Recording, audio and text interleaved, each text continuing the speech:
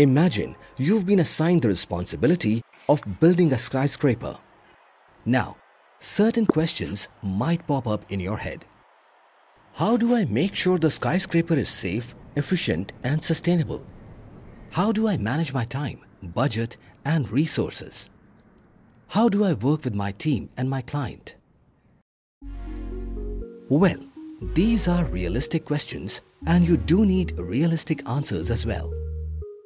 Luckily for you, me and other professionals in the construction industry, there is a solution. BIM.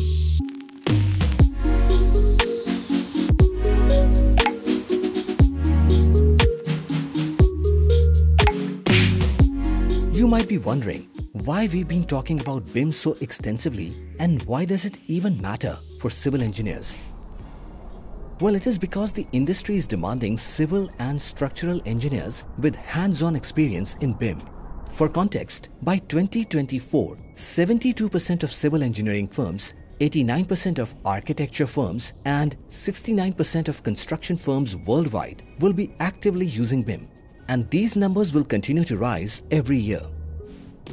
So now that we know these trends and figures, it is important to understand why the future in BIM is one to rely on. We have an interesting analogy for that.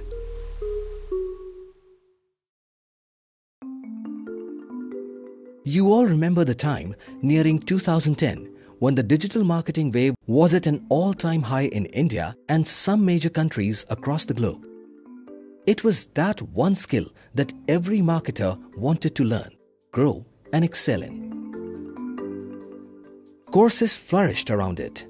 The market was willing to pay high bucks for digital marketers and it ensured a highly scalable career. Think about it yourself. A person sitting in India could now manage the end-to-end performance marketing for a company based out of Africa, the US, Australia and whatnot. The gist is that by upskilling with digital tools, professionals were able to carve a great career for themselves. And needless to say, the growth and demand for such professionals remains extremely high. Now, we know that as civil and structural engineers, you might have your doubts. How can just one skill make my career future-proof? How can it provide a growing career trajectory? Well, that's the beauty of BIM. It's a methodology, not just a skill. You learn a bunch of tools. You learn standardizations. You learn frameworks and most importantly, you do that with the most accurate data. But don't just take our word for it.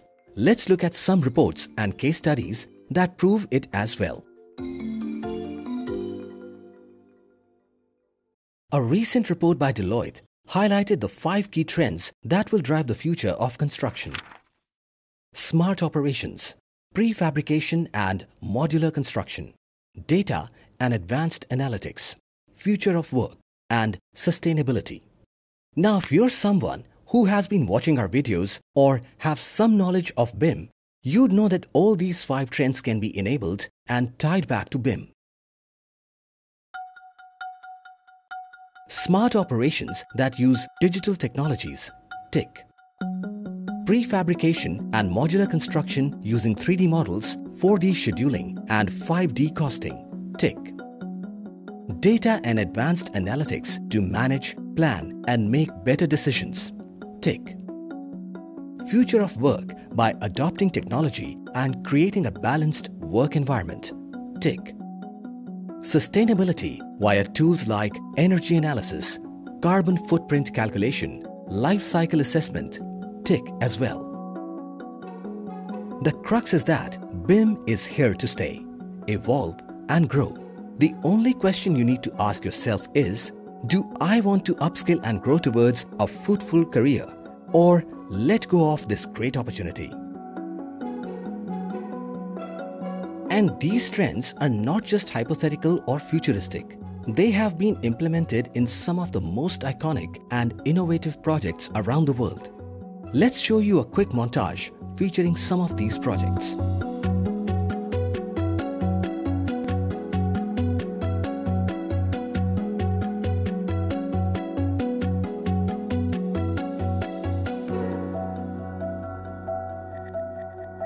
And now that we are on a world tour, let's also see how many countries across the globe have adopted BIM as part of their construction process. It is filling up the entire map, right? See, we've not been lying to you. All we've been trying to tell you is that with BIM, growth is tangible. There is a strategic ROI for all stakeholders involved. And whenever technology has enabled that, it has grown like crazy. For instance, if we see BIM's strategic ROI in Indian infrastructure projects, we observe a colossal difference. In the industrial buildings segment alone, BIM has enabled a 40% time reduction in the design phase, saved close to 50 days of construction time. Yeah, 50 full days. That is 1200 hours has reduced project costs by 22% while saving 130 resource hours. And if you're thinking that's all, it isn't. Close to 23% of the material has also been saved by just adopting BIM in the construction project. We know these are a lot of numbers to take in, but all we've been trying to educate you about is that a skill like BIM is a great way to make your career future ready and future proof and we'd encourage you to learn it in the best possible manner. And on that note, we'd like to take your leave. If you want to connect with our academic team, check out the link in the description. Make sure to extend some love towards our channel by liking, sharing and commenting on our videos. We'll see you soon.